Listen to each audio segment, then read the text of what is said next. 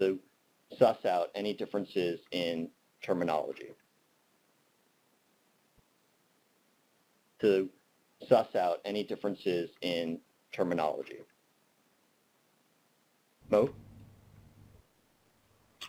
Thanks, Jonathan. Um, also, to put step one into practice, USAID encourages the practice of co-creation and collaborative approaches, uh, which we define as a design approach that brings people together to collectively produce a mutually valued outcome using a participatory process that assumes some degree of shared power and decision making.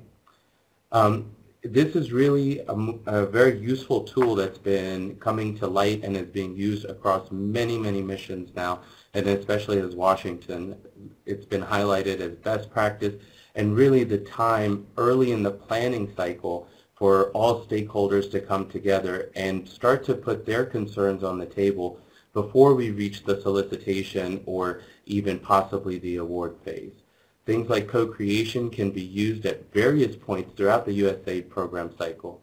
For purposes of this webinar, we want to highlight it at least three ways for potential implementing partners to engage in the co-creation with USAID at the activity level for the purposes of aligning on shared goals without running afoul of procurement challenges that we've seen in the past. The first would be in response to annual program statements. The second is in response to broad agency announcements and the third is industry days. These are really three critical areas where industry can engage or keep a lookout on um, portals such as FedBizOpps or grants.gov because they're always announced through the government point of entry. And it's very encouraging that we've seen such collaboration early and often. And for those of you who are on the webinar who've been, who have participated in such days, we wanted to say thank you in advance and please continue to do so. Um, I'd like to also stress the importance of the funder, donor, considering the viewpoint of the implementing partner. If we don't know what the challenges you may be facing, we can't make or create designs or adjust solicitations for future that would incorporate those challenges or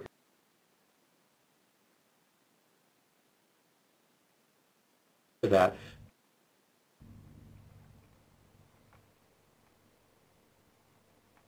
Hi, is it back on? I, Yeah, you're back. okay, I was just, okay, thanks.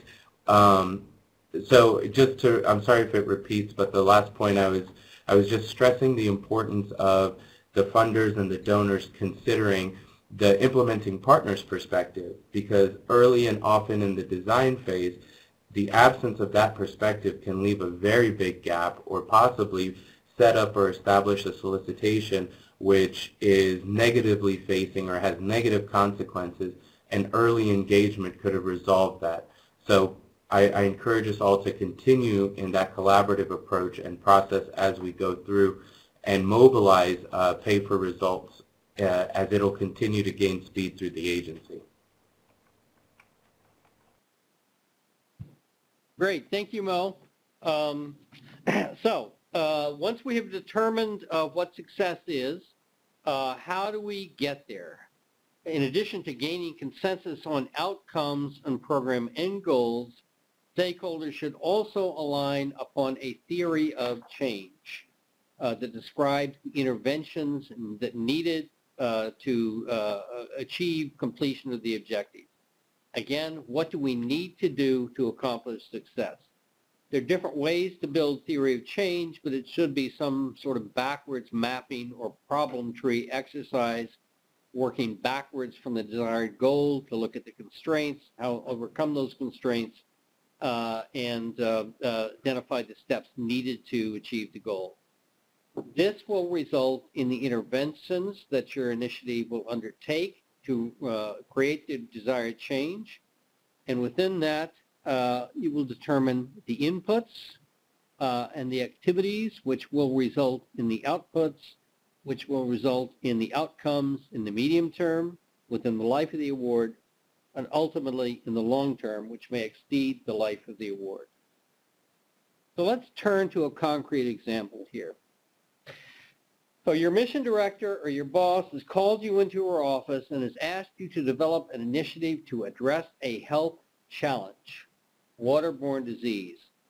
And by the way, since Washington has always gone on about innovation, and she's also heard some promising things about using pay for results, can you please incorporate that into the project design? you agree, leave her office, and immediately go to your colleague's desk, throw up your hands and say, I'm in big trouble. I've been tasked with developing a pay-for-results water project, but I have no idea how to go about a pay-for-results project. Your colleague kindly says, don't worry, I have just read this very handy guide on setting and pricing metrics, and I can walk you through the six steps that you need to take. So, at your friend's suggestion, you pull together a co-creation event, providing a whole range of implementing partners, government counterparts, representatives from targeted areas, uh, et cetera, to sort out what success will be and how to achieve that success. Some of the questions you want to have answered in this process are what's the problem that communities are facing as it relates to access to clean water? And we know that's waterborne illness. What are the root causes of that problem and where are the current gaps in addressing them? What are some of the best possible solutions for increasing access to clean water? What gaps could you directly affect within the next 12 to 36 months? And what would the cost be to close these gaps? And how does that cost compare to the expected benefits? So at the end of this process, the stakeholders have come up with conclusions. The challenge is waterborne disease, which is harming health and leading to lost school and work days. Uh, success is a significant reduction in waterborne disease in combination with increased availability to clean water. The best solution to the problem is establishing clean water provision sites where communities can go to access clean water. And the group actually in this case even went a bit further in suggesting uh, some success metrics. So you report back to your mission director and she agrees that this makes sense and asks how you came up with the solution. You respond it wasn't your solution, rather it was a solution that arose from a collaborative process with a full range of stakeholders. She is impressed. So, having established what success is and how it will be accomplished, how are you going to know if you're getting there? Which performance metrics should you use? Uh, ADS is USAID's uh, automated directive system, ADS, suggests seven criteria for selecting indicators or metrics. First of all, direct. Uh, directly tracks and clearly measures the intended result. Um, second, objective, unambiguous about what is being measured. Useful for management may include agency level indicators which the agency needs to report to Congress or state. Um, fourth, practical, entailing data which can be obtained at a reasonable cost and effort. Attributable, uh, measuring results which are clearly uh, and reasonably attributable to USAID's efforts and not other, uh, other forces at play.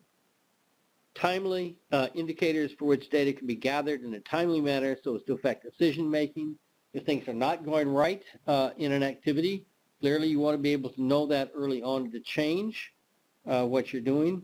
And adequate, enough indicators to effectively measure performance. There are other criteria which also may be useful in qualifying the metrics or in sharpening the, uh, the targets uh, and the performance indicators.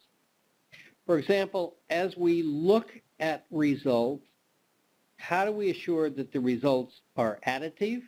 The results would not have otherwise happened without our intervention. How should we value and measure the time to impact, how rapidly the results occur? The sustainability of this result, so we're not having to repeat the effort again and again. Uh, that we are not creating negative market distortions. For example, undercutting existing water services providers uh, in the region. And finally, getting, getting greater value for our development dollars. Crowding in, where possible, the private sector and private sector funds to complement our funds, limiting the dollars we need uh, to get the result. So when you start looking, you discover that there are a huge number of possible metrics for determining success and progress towards that success. So you need to find a way to whittle that number down to the very best metrics. Using the ADS criteria as a starting point, you can create a prioritization framework, such as we have um, suggested, to help identify those best metrics. Trade-offs will have to be made because it will either be impractical or impossible to track metrics that touch upon all the criteria in this example, we've used uh, three uh, of the uh, ADS criteria, direct, attributable, and practical. When brainstorming um, the initial list of metrics, uh, that can provide a first screen with other metrics used um, subsequently to whittle down to a reasonable number of metrics. Again, this is a qualitative exercise uh, or an art rather than science um, in this illustrative example, metrics 1, 3, and 6 are promising uh, based upon uh, their meeting the requirements of uh, all uh, three, direct, attributable, and practical. So turning back to our water example, we have now defined success, success, and the initiatives we're going to undertake to achieve that success. And now we have some pretty good metrics uh, to measure how we're doing. First, we're going to look at the percentage of households with access to clean water sites. Again, this is easy and practical to measure, and it's clearly attributable to the initiative. We're going to look at the percentage of waterborne illness. A little more challenging, but we can do surveys, uh, which is practical, and it's clearly direct. It clearly uh, tracks our intended result, and it's objective. It's uh, either in, is accomplished or not. A cost per household, useful for management, uh, as we need to consider the cost benefit of the intervention, of all our interventions, uh, and should be concerned about value for money. Uh, how do we drive the cost down? Period of time, deliver access, direct and practical. The implementer can measure easily. Um, and it's important, uh, the period of time to deliver access if the challenge is an urgent one, such as, uh, for example, Ebola response. And sustainability, the percentage of the uh, clean water provision sites in which fees cover the operating and uh, maintenance costs. Other possible impact metrics would include potentially the percent of clean water sites uh, in which water quality is rated good or higher, and uh, the number of reduced work or school days lost from waterborne illness uh, in the region. So at this point, um, we have defined what success is, how to get there, and how are we going to measure success. We now need to take the third step to measure baselines, to establish baselines and our targets. Reaching final agreement on targets and pricing for those targets will ultimately result from negotiation between the funder and the implementer. But as in all negotiations, it is better to come to the table of both parties with a sense of what a reasonable target should be. Targets need to be set against baselines, and they should ensure to the extent possible that accomplishment um, of the targets are as a result of the activity being undertaken. Setting targets is also more of an art uh, than a science because there are so many variables at play, and the context is always dynamic rather than static. Where data is either unavailable or not easily accessible, targets may be established around international standards, um, uh, such as the World Bank Data Bank, Doing Business Indicators, uh, etc. So, for uh, quickly for serious M&E uh, evaluation, modern evaluation people, they uh, like to think about impacts in terms of uh, the counterfactual, Counterfactual asks the question, what would happen if my program did not exist? Um, some types of counterfactuals include baselines, which is really our focus, uh, data gathered at the beginning of the project, understand the current state, and this is USAID's uh, usual approach. and controls, which is a more sophisticated approach, uses a comparison group that is not receiving the intervention used in experimental or quasi-experimental uh, evaluation approaches. This is the gold standard, but it's costly and rare for USAID. Again, at USAID, we almost always use baseline. So once you have established your baseline, you're then in a position to think about reasonable targets. Again, target setting is ultimately a negotiation between the funder and the implementer. And of course, if your target's too high, no implementer is going to uh, want to undertake the initiative.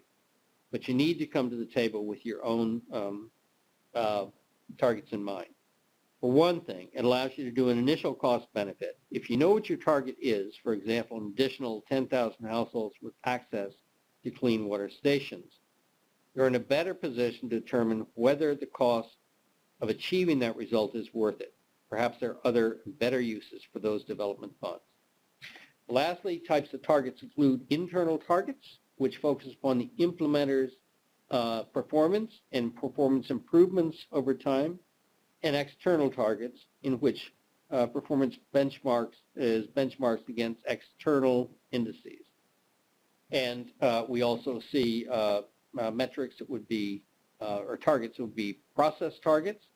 Um, we see how we're getting there as well as final end result targets. And of course, targets should be sufficiently ambitious to incentivize improved performance. so moving right ahead. Um, with our message established, just quickly, uh, we have established a baseline here. Um, from there, a target is set, and there's agreement uh, is reached on an acceptable data source. So let's turn it over again. Uh, Mo, do you have a PEPFAR example for us? Yeah, thanks, Lawrence. So um, just to set the stage and, and to help everyone understand what was going on, we had um, we had one contractor who, or one implementing partner, I should say, who is phasing out. So we were seeing a large demobilization stage, and we had a new implementing contractor coming in, and they had about a two to three month layover um, where both were one was moving down and one was coming up. And for the one that was exiting a year prior, what we had did what we did was we established a pay for results, a pay for performance um, methodology, and we had converted their mechanism into a performance-based mechanism, specifically tying payments to the achievement of specific outcomes that were important in the realm of PEPFAR. Um, for those of us who, who know what PEPFAR is, uh, their targets are delineated on an annual basis and, and given by OGAC, which eh, is the office that, that oversees the program across all countries. So we had a we had a very clean opportunity where the targets were well defined. We had a means to measure those targets, and we had a way to consistently apply the same approach year after year. So that being said, typically in any project when we're seeing a closeout type phase, we see a decline in performance because implementing partners are removing personnel, they're removing equipment and trying to get them uh, to get either out of the country or finish the project or continue doing their normal work in the absence of the U USAID funding. Um, in the fiscal year prior to changing the performance over into a performance-based methodology, we saw only 56% of the targets being achieved. Then we introduced the performance-based contracting methodology, and the following year, the, the implementing partner that was leaving achieved 101%, and the new implementing partner that was coming in achieved 86%. Now, these were unprecedented numbers in the realm of PEPFAR, and it's become a best practice, and it's moving throughout, these lessons learned are moving throughout the agency. But this was very one very clear way where everybody was able to understand what were the targets, what is the baseline, how am I being measured, and how will my performance catalyze into a financial gain or loss. And with those combinations and a mutual understanding between USAID and the implementing partners, we were able to achieve massive amounts of success. which is actually putting Zambia as one of the first countries to reach epidemic control, possibly within the next year or two years. So that's in the PEPFAR realm. I also have a different example in education where we have uh, the problem statement was children were not reading at grade level, as specifically children from the years of kindergarten through three years old. Every two years, the government has an established means of measuring, and it's called an EGRA, which is an early grade reading assessment. And what we found was that only 20% were reading at grade level. So we were able to establish a baseline. We worked with the government, we worked with our implementing partner, and we put it through the solicitation of what we what we would hope that after the five years and the amount of funding that USAID put in, the end uh, target would be. We had a collaborative approach and we used things like oral presentations, co-creation through the solicitation process, and we're starting to see the yields of that result. But this example was really some, a, a way that we were able to put it into the solicitation early, get engagement not only with implementing partner community, but also with the government, and design a project that reflects the needs of what's currently happening. But again, we were only able to do that because we had a baseline, we had an established target which was realistic and reasonable to achieve, we had implementing partner and stakeholder input, and we had consistent communication through the process. So Lawrence, I hope these two examples were helpful, and I want to turn it back over to you. Thank you, Mo. Very, very helpful. Uh, really remarkable uh, results on that. Thank you. So I'm going to push through uh, quickly. So we're at step three now. Um, we have defined the problem and have established success uh, in the intervention we need to take. Uh, we've determined the metrics that we will use to measure progress and the data sources for those metrics. And we have completed our third step of setting our baseline. Uh, what is the as-is situation? And our targets. What is the to-be situation, assuming that our intervention uh, is successful? So I won't go through all these examples, but as you can see, um, a number of sort of diverse indicators, uh, each with a baseline and target. Um, and uh, uh we're looking at uh, basically uh, clean water access, waterborne illness, the end result, the cost, sustainability, and the point um, I want to make here is that rather than looking at one indicator, uh, this really provides us with uh, a kind of a broad spectrum of metrics so we can really look at the broader issues of are we achieving sustainability and the multi um, you know, development objectives that we have uh, in our projects. So one of the benefits here is that we can have multiple uh, elements on which we pay uh, which is a benefit for the implementer as well. Few implementers are able to simply uh, afford to uh, undertake activities with the hope that at the very end of the activity in three years, uh, they will pay it out. This provides indicators uh, that can be done, uh, process indicators and milestones as they move ahead. So with that, I want to turn it over to Christine to follow up on the next three steps. Thank you, Lawrence. So Lawrence graciously went over the uh, how to align on shared goals, how we translate those goals into measurable metrics, and then establishing an understanding of what the current state is. Next, one of the areas where we get a lot of questions is how to determine which evaluation approach is the best. Oftentimes what we've found is that that approach is often based on the amount of rigor funders are comfortable with since ultimately they're the ones who are deciding whether or not to pay for a program or an intervention. So as you see on this slide from left to right, shows showcases the different designs based on level of rigor.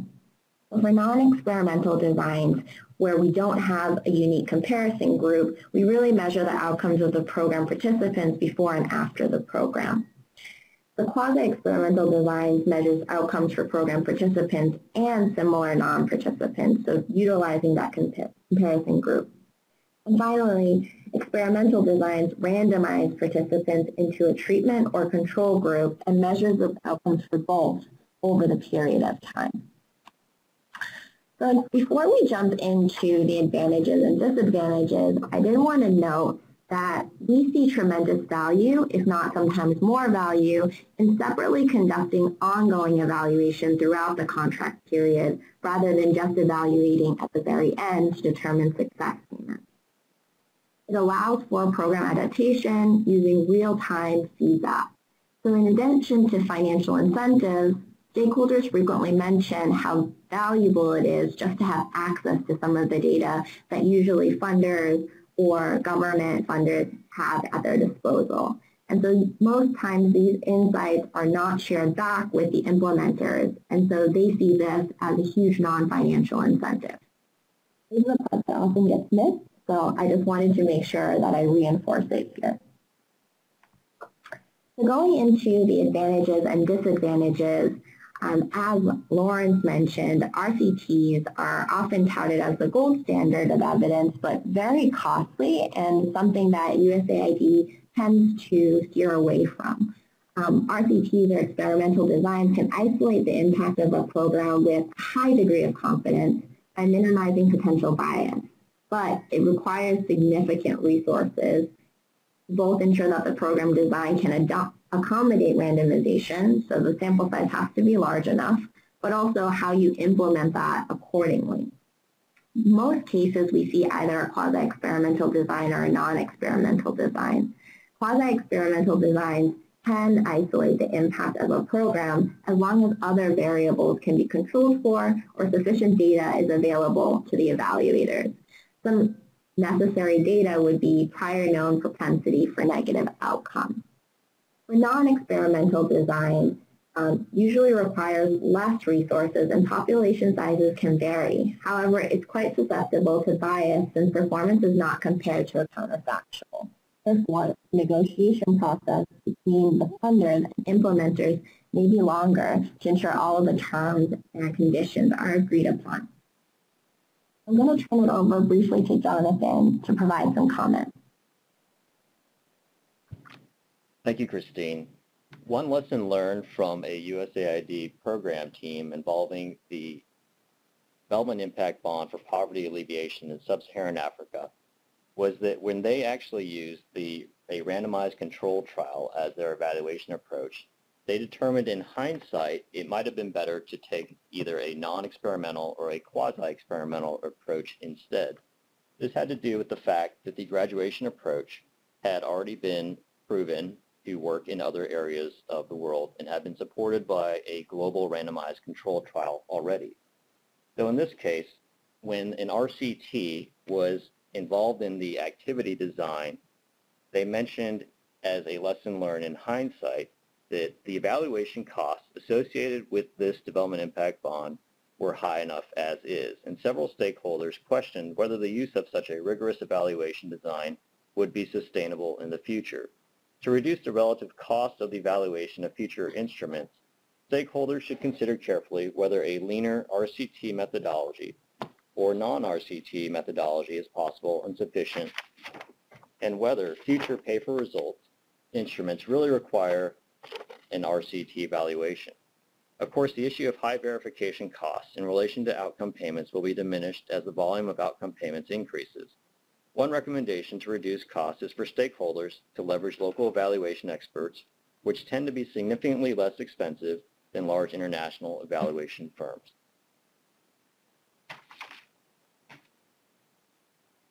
Christine? Thank you, Jonathan. So going back to the water example that we've been starting with, uh, we want to think about a few different questions as we decide on which evaluation model would be best. Some of the questions that we ponder are, are we working with a small population? If so, it would be more suitable for a non-experimental or quasi-experimental model.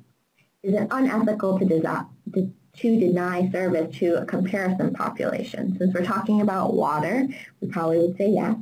And so we probably lean toward the non-experimental or quasi-experimental. And finally, do we have other operational considerations that may complicate randomization? Since we're talking about a clean water provision site, it's pretty difficult to limit access to who in the community may or may not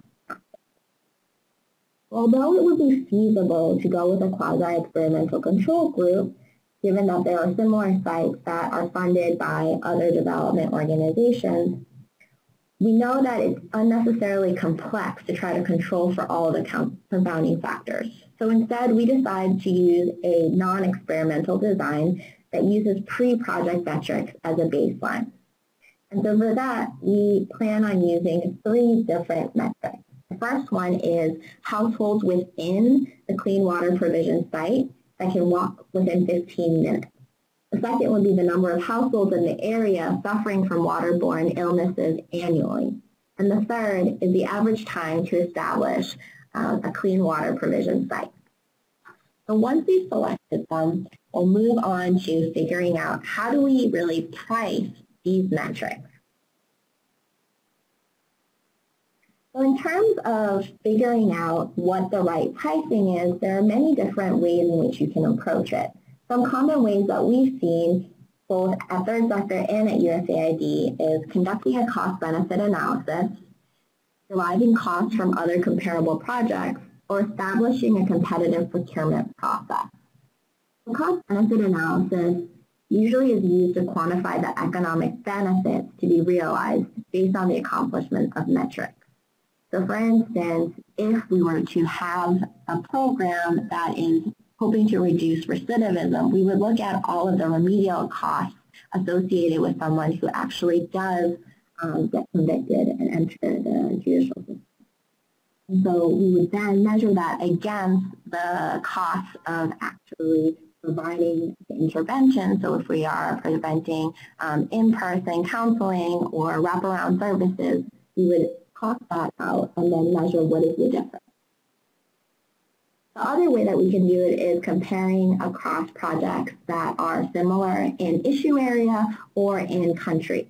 So the cost associated with those projects would serve as a proxy, and based on comfort level around those proxy measures, you could then create a benchmark, fully understanding that this would have to align with the funder's willingness to pay. And then the third way is really having a formal process of creating a solicitation, which basically seeks and fosters competition among implementers wanting to engage in P4R and provide services and goods under that contracting model. I'm going to briefly turn over to Mo to provide a little bit of context based on his experience. Thanks so much. Um, as Christine mentioned, you know, competitive solicitations is the time where we look at fostering organizations to bring in innovative ideas and technical approaches to so solve some of our development challenges. Uh, contrary to popular belief, while cost or price is a, a factor, it's not most of the time the defining factor. Now, we could get into a contracting course about lowest price technically acceptable versus trade-off, but USAID generally looks at technical first before it looks at pricing. So with that in mind, uh, look, uh, when an implementing partner is able to provide us an innovative solution, pricing is a part of that innovative solution. What are the cost drivers that, that an implementing partner or an organization is looking at? How is it looking to get the biggest cost-benefit analysis? One of the best proposals that I've seen actually had that dialogue within it and was able to quantify how it was reaching a, a bigger value for dollar compared to possibly other solutions that may be out there. I thought that that really provided a holistic approach or holistic perspective of how the implementing partner not only said, this is how we're going to spend the dollar, but this is how far that dollar is going to go, and this is the development impact that that dollar is going to come back. I think that it's a very good opportunity, especially in the co-creation and collaboration process as well, to start having these conversations about, well, what kind of project are we trying to put together, and does the funding associate with that project? Are the results, are the baselines and the, the deviation thereof in between the two and the funding source that's allocated, is it enough? Is it too much? Um, luckily enough, we had actually an experience where someone said, that's way too much money. I thought I'd never hear that before. But they said there's another solution that would get us there without having to spend that, the, the type of funds we thought were needed for that solution. So in that competitive solicitation process, whether it's via the request for information, the co-creation, um, the response to a solicitation, it really please bring those ideas forward because that's when we can start looking at, well, if we have an idea or model of how we think things are supposed to be costed or priced out, is that correct? Or should we adjust it? Because adjusting the solicitation in the preliminary phase is easy.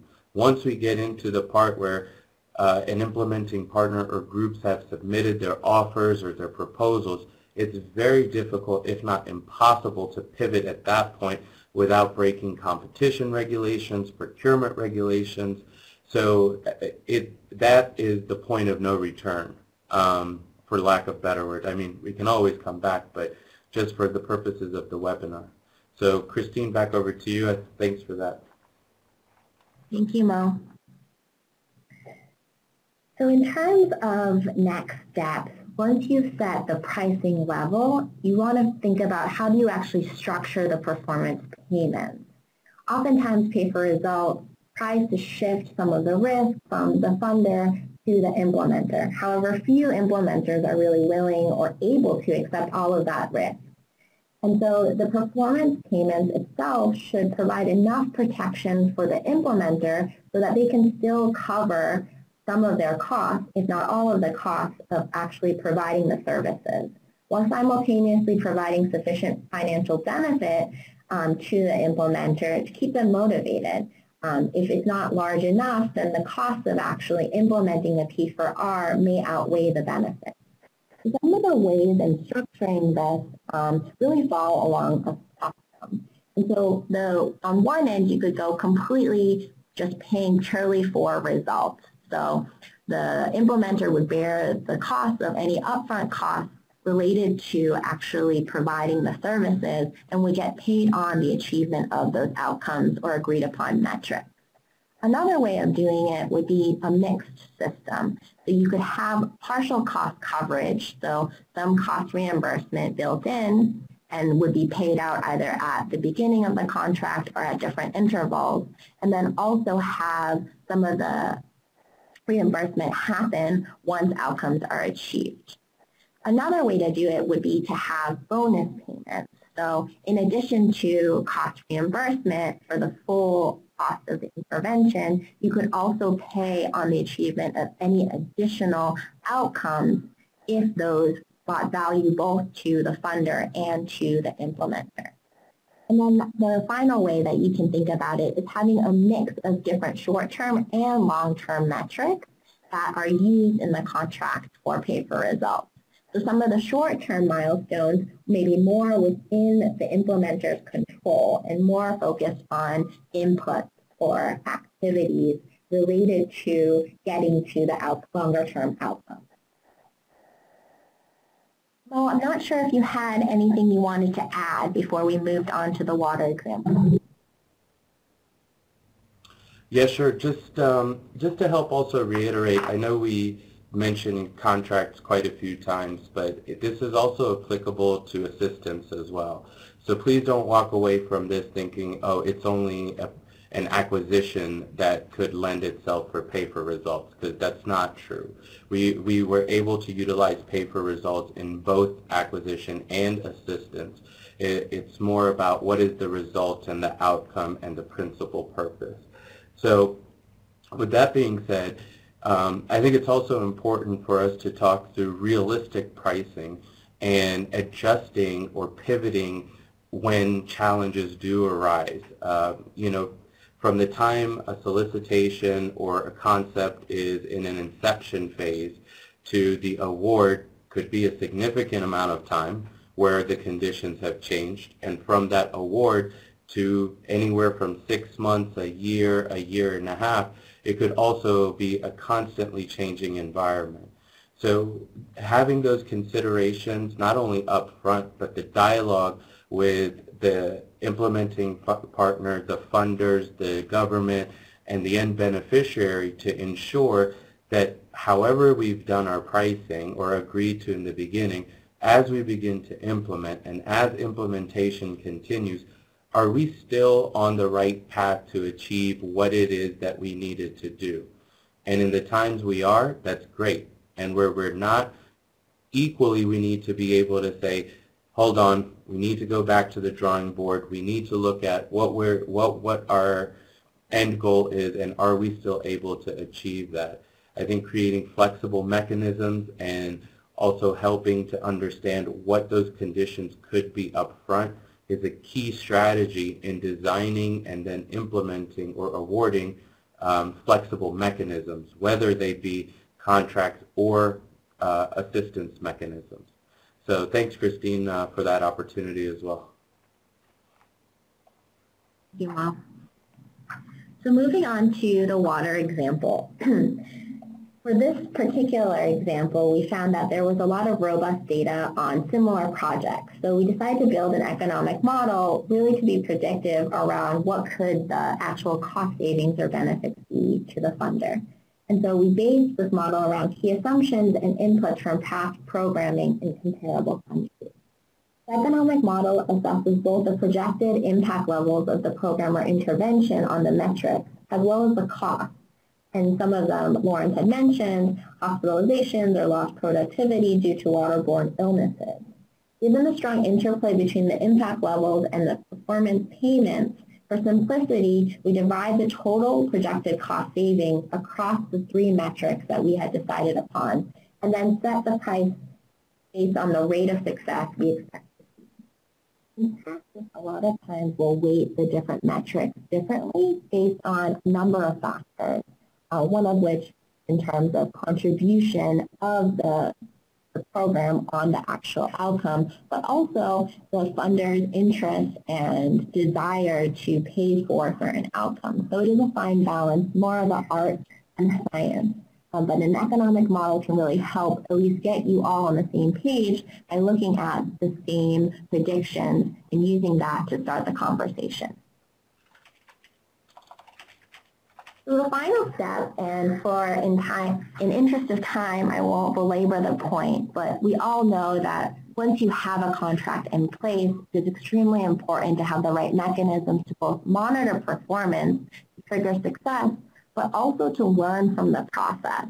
So the illustrative example at the bottom really showcases over the course of a contract, there needs to be consistent milestones and progress reports where the stakeholders who are initially brought together to define the shared goals look at what's actually happening on the ground and have opportunities to course correct and really be responsive to the needs in the community. In terms of the actual monitoring process, we really want to ensure integrity. In order to do so, we've seen two things be a critical component. The first is employing a third-party evaluator who is unbiased and hasn't been part of the program design or negotiation. That person or that entity really comes in to ensure that the outcomes that were agreed upon are being tracked and measured. They also help support the stringent data quality practices. In terms of data, we really want to think about three things, and this is usually agreed upon in the negotiation process. The first is what is the frequency of data collection? What is the quality of the data source or sources? And what is the hmm, reliability or validity of the data metric? In certain cases, these things have to be aligned across the different metrics to ensure that you're able to see true progress over the course of the contract. So as you can see on this slide, this is really more of a decision tree to determine when and if an implementer actually receives success payment. Um, I don't think we need to spend too much time going over this, but another thing that I wanted to re-emphasize was that a lot of times we're focused on the triggering of payments. However, in addition to processes that help support monitoring of those, it's important to have structures to also bring together those stakeholders. So in many of our projects, we've seen having an established governance structure is very important. So whether that be an advisory committee of key stakeholders who have decision-making power, who can look at the data on a frequent basis and make decisions about how they want to change either policy or programs, or even in some cases think about amendments to contracts if they are or not on target. And so I just wanted to bring that to light. So going back to the water example, the implementers we were working with were initially concerned about their ability to cover costs, which is often a concern, due to the payment term. So you decide to mitigate some of their risk by instituting partial performance payments tied to process measures.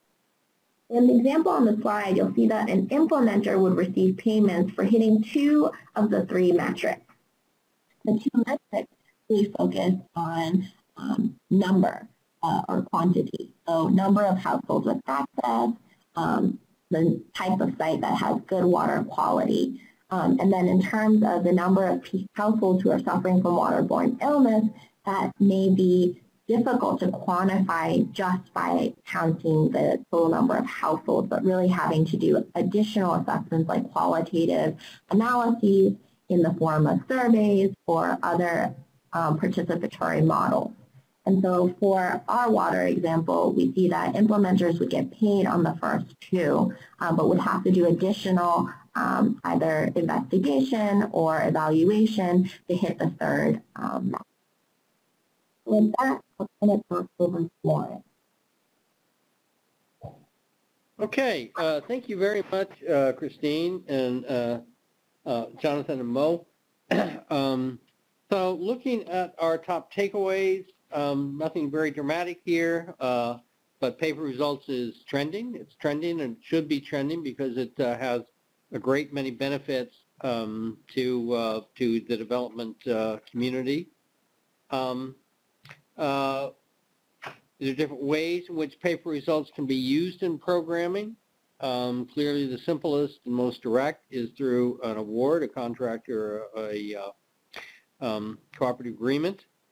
but these are not without uh, challenges, uh, and principal among them are uh, setting and pricing metrics. Luckily, Third Sector and USAID have written this uh, guide that can be used on how providing a process for setting and pricing metrics. Um, and finally, of the six steps, the first, aligning on shared goals and defining success, is arguably the, the most important um, that's really the foundation upon which uh, everything is built. Um, so we want to turn to questions, but uh, do want to um, just say the other document I uh, referenced previously is called Pay for Results in Development, a practitioner, the, a uh, primer for practitioner uh, that we uh, developed in conjunction with um, um, uh, anyway, we look forward to uh, hearing um, from you on that. So let's move um, to some of the questions that we have. Sorry, we developed that in conjunction with Palladium, um, uh, one of our implementing partners. Uh, so I think it's a very valuable um, uh, resource and suggest you uh, you take a look at that as well. It's on the USAID website, or you can just find it on Google. Pay for results in development. So we do have some good questions here, and please keep them coming.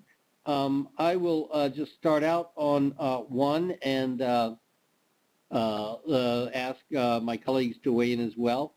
the first really resulted question is about results from Amy Oslander. What happens when there are external factors? That means that basically the, the implementer doesn't get the results, but they're not the implementer's fault. another one from Greg Jacobs, that basically as an implementer, um, uh, implementers feel compelled to kind of ramp up the results that they're going to achieve uh, because they're in a competitive process, and if they don't uh, basically set some high targets, um, you know, others may may uh, may may win the award. Um, and how do you, from Max Weinman, uh, how do you deal with a scenario when uh, the results are measured over some period of time after the conclusion of the project, and there may be some exogenous shock? So let me just first uh, say um, our objective uh, in a pay for results award is to pay the money. Um, because that means that uh, we have achieved uh, the results intended. Hopefully those are results that would not have been achieved otherwise. So uh, the idea is let's, uh, you know, let's set targets that are going to be aggressive but achievable. Um, I will say that part of the art of setting targets, and it's on um, the implementer as well as the funder, uh, USAID and others, is the art is really designing the set of metrics that really uh, work. So it has performance metrics or prof, sorry process metrics, um, uh, as well as final um, end result metrics. One example is uh, when we uh, work with transaction advisors um, in uh, some of our presence countries. Uh, many of them don't have the wherewithal to take on um, transactions and work on those for you know six months or a year uh, with the um, you know without the possibility that they're going to get paid. So we do have in those uh, step metrics, uh, performance metrics, um, but with the balance really uh, upon the accomplishment of the end result. So I guess what I'd say in that is it's really the art is kind of coming up with uh, you know with metrics to make sense but at the end of the day, this is about uh, shifting the risk uh, or portion of the risk uh, to the implementer, um, which also gives the implementer more flexibility. So if you're going to, you know, step up and uh, kind of take on the, the challenge, we need to be serious that uh, we're paying on results and not for best efforts. And um, even if things go awry, we obviously want our implementers to be uh, healthy and, and, and successful, but this is about paying for results. Any others?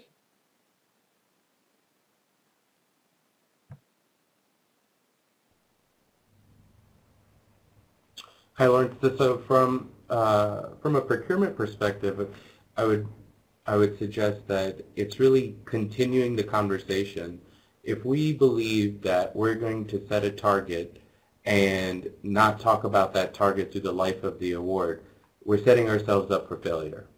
So having clear, concise conversations, not only from the technical perspective, but also the contractual or, or agreement perspective on what are the impacts that are happening, what are the truths on the ground, and adjusting that pay for result as you move is very important. I would argue that it should be adjusted maybe every six months, maybe every year, but looking at nimble ways of ensuring that the on-the-ground truths as they come forward that may affect that result are known, planned for, incorporated within whichever mechanism you're working with so that it continues to incentivize realistic performance to realistic targets. Um, one of the challenges I've seen is that we are notified, or at least it comes to me, when it's too late. You know, uh, two and a half years into a project, oh, the government isn't responding. Well, have they just stopped responding, or have they not responded for two and a half years? So some of it is simple communication, ensuring everybody's in the loop, ensuring that when challenges are arising, um, they're clearly identified if they are linked to payment or metrics, that those metrics are clearly identified, and it's an iterative process throughout the life of the award, um, and that's incumbent on all sides. So I, I, would say from the procurement perspective, that's one of the key takeaways. So just a quick question from uh, Lexine. You brought an example of specific conditional transfer programs. Um, there's some very successful ones in Latin America uh, that seem to have been successful, um, particularly in Brazil, uh, the Bolsa Familia. Um, those are fairly simple programs um, with uh, cash payments based upon uh, metrics such as ensuring your kids are staying in school, et cetera. Uh, but many believe that that has really been a, a remarkable force in um, in basically the rise in uh, or the reduction in poverty in uh, Brazil. A couple of other questions. These probably belong to uh, um, Mo. what are the key entry points for developing concepts uh, for and with USAID, pay for results concepts? Um, and uh, what is the process uh, from USAID Mali? What's the process if there's a disagreement between the donor and the implementing partner? over uh, whether the result has been achieved. And, and uh, third one, what if the implementer withdraws midway? Well, um, really good question. So I'm going to keep this very high level because uh, as I was taught early in my career, the devil is always in the details. But um, to, to go in order there, um, I would say that the entry points are typically when you're seeing the announcements. The business forecast is a wonderful opportunity to know exactly what's coming down the pike and it's broken out not only by mission but technical sector and Washington as well. So I would say keeping an eye on that business forecast is in a, a very good business practice. When RFIs or, or which is a request for information or an industry day or a broad agency announcement is released, acting upon it and ensuring that uh, your thoughts are are documented and submitted on time for consideration.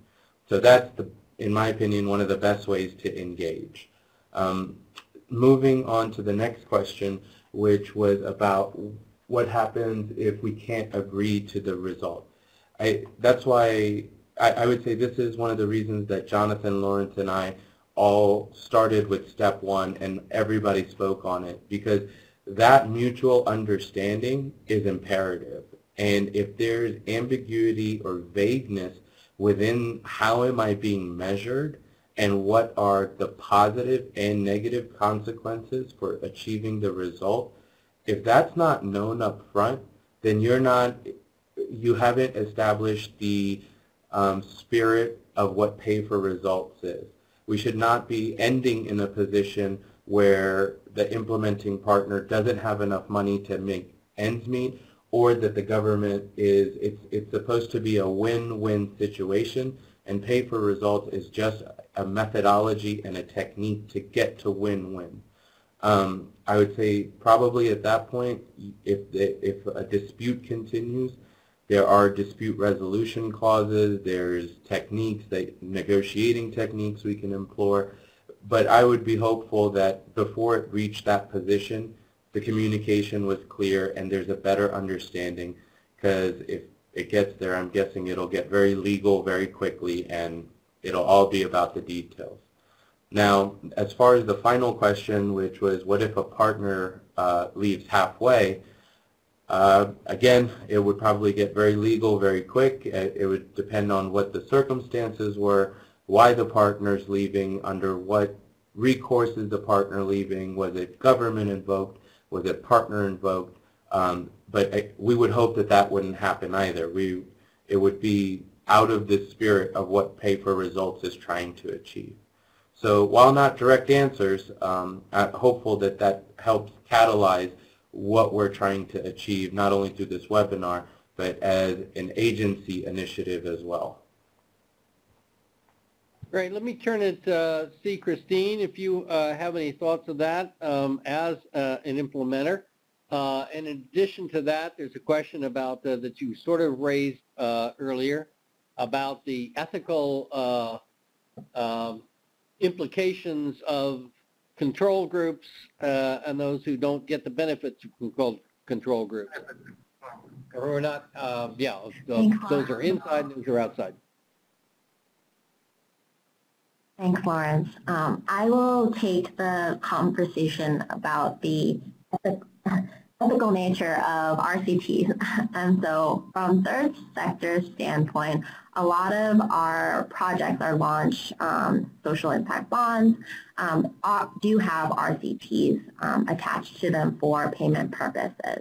And the difficulty that we had there was a matter of can we withhold certain types of treatment for um, the population. And so when designing that social impact bond, really that conversation came about when we were selecting the right intervention. Um, and so that for us really happened at the very beginning of the, the project design, um, even before we get into what are the outcomes that we want to measure and how much are we willing to pay for those. And so I guess that's one thing that I would note, especially for those of you who are thinking about uh, pay for results concept, it would be that's that's a critical component of whether or not you decide to move forward in using P4R, um, is whether or not your intervention will allow for you, if the funders require an RCT, to actually apply that type of rigor without having those ethical concerns. Uh, so the Mercy Corps, um, question from Mercy Corps, will USAID consider hybrid uh, activities uh, which uh, are sort of mixed um, where some of the costs are covered and some of the, uh, um, uh, there's also a pay for results uh, element to it. I think I know the answer to that, but I'm going to turn to Mo on that. Thanks, Lawrence. Definitely. And um, uh, I would say we're starting to see more and more of hybrid approaches. I would just suggest that it, during the question and answer or engagement period, whatever that looks like um, under each solicitation, since they could be different, um, I, I, if I was an implementing partner, those are the recommendations that I would be making because that adds value to the process and that helps identify how you're thinking about things differently. And we're not just doing business the same way as we did or as we have been doing. Um, many of us are looking to answer that question, what does each country's journey to self-reliance look like? How are we working towards that goal? and I would argue pay for results and creating hybrid mechanisms that traditionally were only cost reimbursement um, is a, a, a, great step to that um, to that outcome or even our own objective that we're looking to achieve. So great question and the answer is yes, it can be done and I would also uh, implore industry to continue to engage and identify areas or times where it could be hybridized um, in solicitations.